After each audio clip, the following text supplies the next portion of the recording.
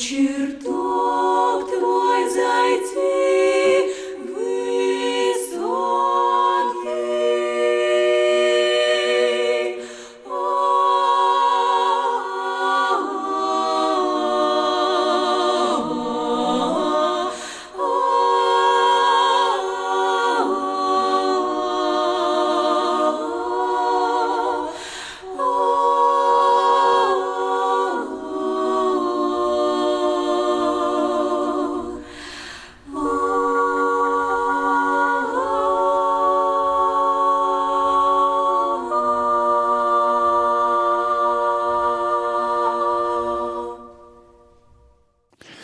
Здравствуйте, дорогие мои. С вами передача «Лаврские встречи».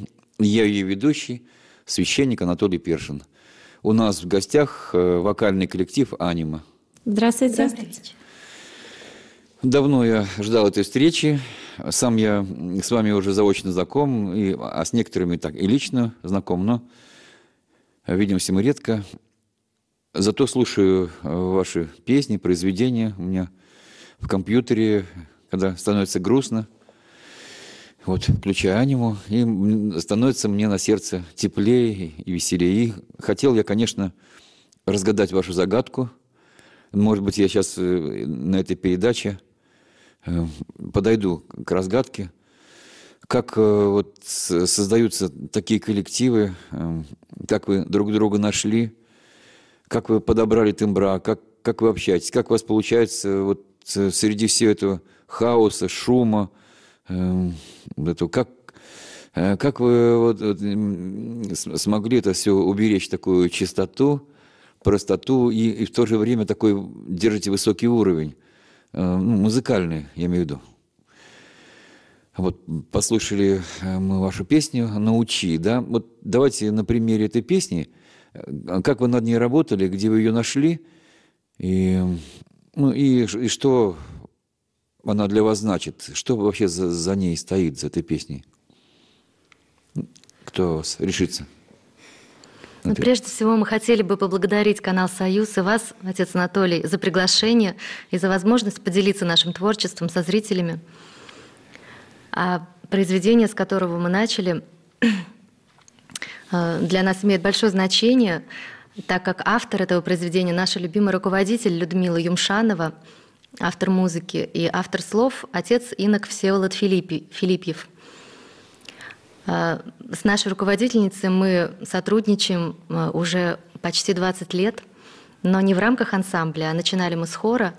И вот, вот уже 10 лет мы выступаем как ансамбль. Отмечали юбилей в прошлом году. А в 2009 году нам посчастливилось познакомиться с поэзией Всеволода Филиппьева. И наша руководитель так вдохновилась его творчеством, что написала несколько произведений, вошедших в наш второй диск, который называется «Яблони воскресенья», диск православной духовной песни. Одно из этих произведений «Научи». Которая вот прозвучала как раз. И вы научились. Вы учитесь, да?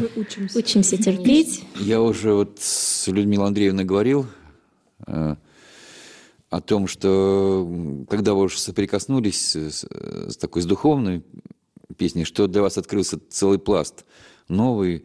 И вот как вот в каждой из вас все это происходит? Э, Происходит ли воцерковление? Как вы духовно растете вместе с, со своим... Вы вообще, кто-нибудь из вас поет на клиросе? Нет? Как- Какая, какой род ваших занятий? В смысле, чем мы занимаемся? Да, каждая. Вот, вот вы чем занимаетесь? Я пою. Ну, собственно, да, это все. Ну, я мать и пою. преподаете? Нет, я пою в ансамбле, и э, моя еще одна э, основная из работ петь э, ну, на площадках нашего города сольно, то есть вне ансамбля. Ну, это больше... Свой сольный проект, Да. Ну, Это эстрада, да? Больше, Романс. да, больше к эстраде, нежели чем... э, А у вас? А я экономист по образованию и работаю по специальности уже много лет. Мгм. А так по- что а почему музыка, с это это часть души, без этого трудно в А, то наше есть вы из, время. из этого с детского возраста возрастали Да, я вместе с коллективом? Училась в музыкальной Мы все. школе, потом плавно переросла в ансамбль, познакомилась с Людмилой Андреевной, с девочками. Вот на протяжении уже многих лет мы дружим. И Я вот слушаю вас, и мне кажется, что это как, как будто один голос. Вы, вы все движения Это много души, лет тренировок. Вот, вот так э, друг друга, и, и пиано у вас, и, и так все гармонично звучит, просто как будто один, один организм. Да, наш ансамбль, наверное, можно назвать одним единым организмом, потому что мы настолько любим друг друга, уважаем, чувствуем, переживаем, радуемся друг за друга. А, Всё а вы? это. А, Ну, изначально у меня техническое образование, но вот уже 6 лет я воспитываю детей, поэтому сейчас именно занимаюсь воспитанием детей. Ну, Аня, А я, помимо ансамбля, немножко работаю музыкальным педагогом в детском саду. О. Потому что, ну, еще, да, хорошо бы, чтобы вы мо- могли передавать свое это. Но к вид разговору о едином целом, вот все равно наша вдохновитель основная, это Людмила Юмшанова, она нас наполняет. То есть одно дело наше сочетание голосов, а вот она обладает такой душой, что мы не хотим ни с кем другим работать, кроме нее уже столько лет. Везде за ней следуем. А следующая песня, которую вы хотели бы исполнить, называется «Тихо катится река». Вот вкратце. Как, ну, ну, расскажите, как вы ее репетировали? Помните что-нибудь? А, Как дело она возникла? Возникла эта песня э, Ирины Скорик, с которой мы познакомились на фестивале «Невские купола». Э, И она нам любезно предложила несколько произведений своих. И вот одна из них – это «Тихо катится река». Нам больше всех полюбившаяся, наверное. А, И аранжировку как раз тоже опять-таки сделала Людмила Андреевна Имшанова. Уже на, разложила на наш ансамбль. Послушаем. да. Тихо катится река за деревнею, Почерпну из родника силы древней. Звонко струйным серебром разливается, Словно сказочным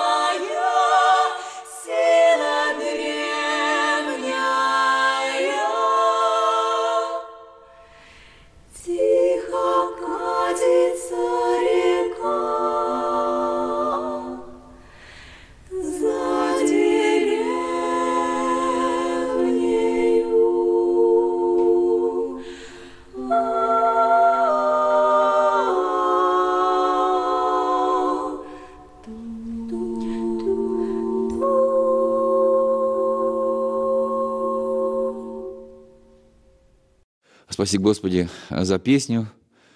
А, у вас был в прошлом году десятилетний юбилей. Вот расскажите, как вы его отмечали? Наш юбилей ознаменовался двумя сольными концертами э, на замечательных площадках, э, полные залы. И следующая песня, которая будет исполняться, была нам подарена как раз-таки на этот юбилей замечательным аранжировщиком, нашим другом Михаилом Барашевым. А откуда вообще взялся Михаил Барашев в Мы вашей с ним жизни? познакомились на одном из конкурсов, в котором принимали участие. Вот, очень талантливый человек, ну и наше общение, в принципе, И в нашем продолжается уже репертуаре много лет. Да, нашем Шесть или сколько его аранжировок? Уже. Хорошая уже шесть и пока еще шесть. Но мы с ним очень стараемся сотрудничать, потому что он очень талантливый и близок нам по душе. По душе как и музыкальный, так и человеческий. Он композитор. Он Или аранжировщик, аранжировщик. Он аранжировщик. Композитор, да, теперь тоже. Теперь композитор. Она, ц- э, может быть, и с ним как-нибудь встретимся, если он, У него свой ансамбль тоже. да, вокальный, Вокально-инструментальный. вокально-инструментальный. Ого, Тоже. интересно. Ну, вот расскажите, эм, как, вы- как вы живете, а как вы общаетесь, как вы вырываетесь из своего быта, вот, из своих, эм, там, с кухни со своей, со своей работы. Да, Это актуальный вопрос. Да, как, вот, э, Да, как это возможно? Трудностей есть и немало, и действительно встречаться непросто, поэтому репетиции у нас не, не так часты, как хотелось бы. Но все равно мы стараемся один раз в неделю стабильно встречаться, потому что без репетиции ничего не будет. Раз в неделю Да. хотя бы. Ну, вы друг без друга уже жить не можете, я понял. Нет. Даже если мы болеем, мы все равно едем. Ну, не петь, но общаться. Это здорово. Это какой-то ну, такой хороший пример. Очень хороший пример.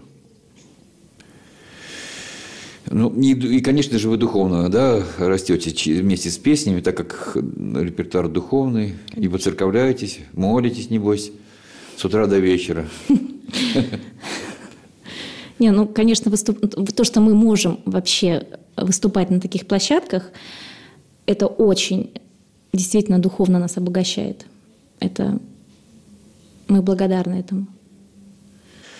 Да, я лично два года, наверное, пытаюсь вас выманить на свои концерты, и все никак. Все кто-нибудь у вас, кто родится, кто-нибудь, кто, Жизнь такая. кто еще чего-нибудь. Ну, я надеюсь, вот вас, видите, вот концертная площадка «Пастораль» сейчас возникла на метро «Лесная». И там каждый четверг у меня концерты. Я приглашаю разных людей, в том числе вот и вокальные коллективы. Мы с удовольствием. Мы будем благодарны Да. Да. Я думаю, как-то весной приглашение. будет Да. настроение, можно на Пасху, пасхальное. О, удовольствием. Я, яблоне воскресенье ваш попоете. С У удовольствием. нас Ваше. много пасхальных песен. Не только. А, вот с- я часто слушаю, вот у меня записи есть, ваш э, диск, я слушаю песню «Тонкая рябина». Вот а кто ее аранжировал таким образом? Вот Михаил Барашев. это он, да? Да. Ого. Очень аранжировка такая, в ней чувствуется и веяние ветерка, и Тонкая. И очень тонкая песня. А они с- над, нюансами э, работ, работают вы сами, да, их, вы уже сами чувствуете и знаете, да, вот эти все движения души. Ну, И руководитель вам подсказывает. да? Конечно, мы все делаем. На, на самом деле все делаем совместно. Нельзя сказать, что вот как Людмила Андреевна сказала, так и будет. Ага. Это все рождается на репетиции. Кто-то может что-то предложить, кто-то может что-то отказать, но все совместное творчество. Но под влиянием, конечно, Людмилы Андреевны. Это Хорошо, послушаем песню вашу.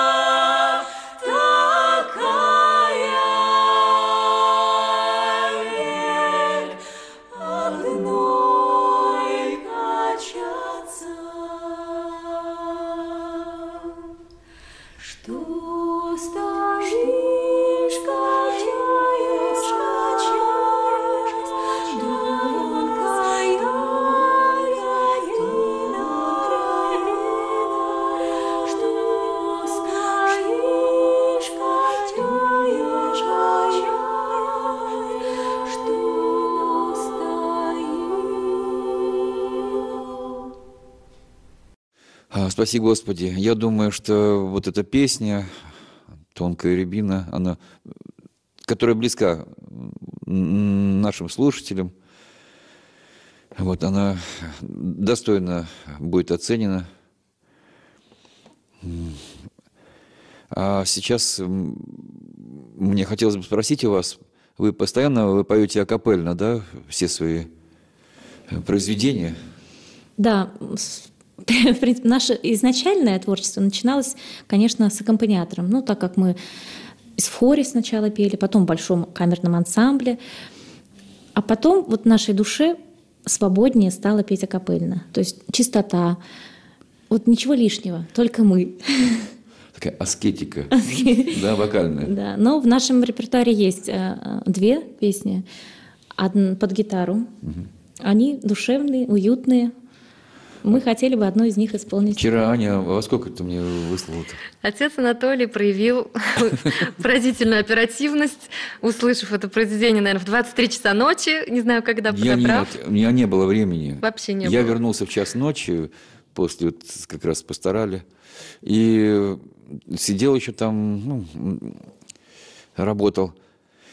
А потом я вспомнил, когда ехал, когда ехал на машине, значит, вспомнил, что я, я обещал песню. Я включил телефон, вышел в интернет, э, в ВКонтакт, и, значит, поставил песню и э, записал ее как ну, гармонию. Вот, и, и, то есть у меня даже не было возможности не репетировать, ничего. То есть сейчас будет полная импровизация Да, у нас. это, Маленькое чудо. впервые и маленькое чудо. Чудо же должно быть у нас на передаче. Да и вообще чудо, я считаю, что аниме – это чудо. Вот. Это, я считаю, что это явление в нашей русской культуре. Ну, чтобы, конечно, не возвысились. Но вы уже, наверное, прошли все. Главное, что вы вместе, что вы живы. Вот. И то, что вы собираетесь и дальше, да? Петь. И радовать нас своими голосами. Спасибо за признание. Да, потому что я аниму сразу узнаю с, с первых вот нот. А это э, хоров очень много. э, А так, чтобы... Так что я поздравляю вас с, с таким явлением. Ну, давайте споем Давайте. песню. Она называется Зимняя песня. «Зимняя песня».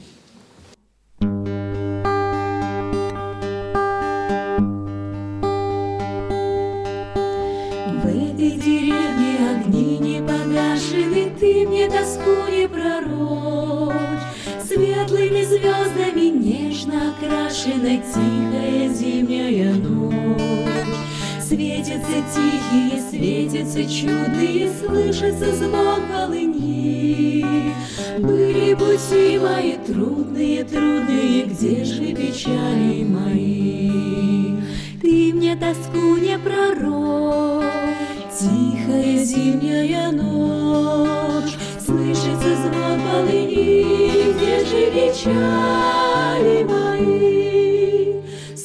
Слышится звон полыни, где же печали мои? Скромная девушка вам улыбается в месяц улыбчивый рад. Трудное, трудное все забывается, светлые звезды горят. Кто вам сказал, что во мгле заметеленный стынет покинутый луг?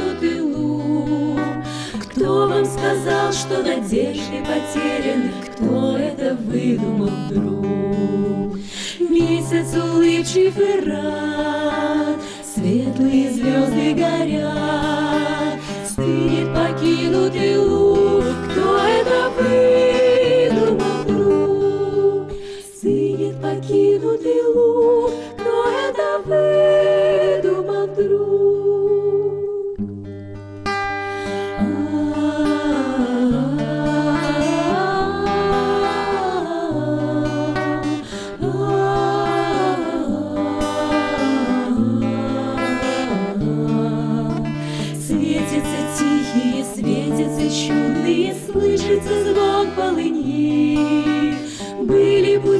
мои трудные, трудные, где же печали мои?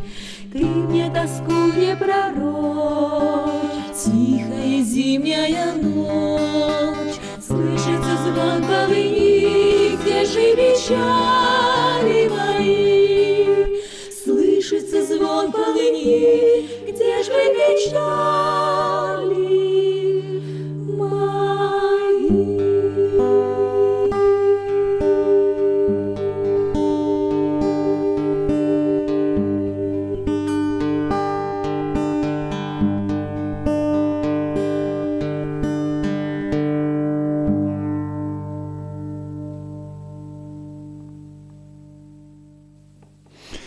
Прости Господи. Дорогие мои, на этом наша передача «Лаврские встречи» подошла к концу.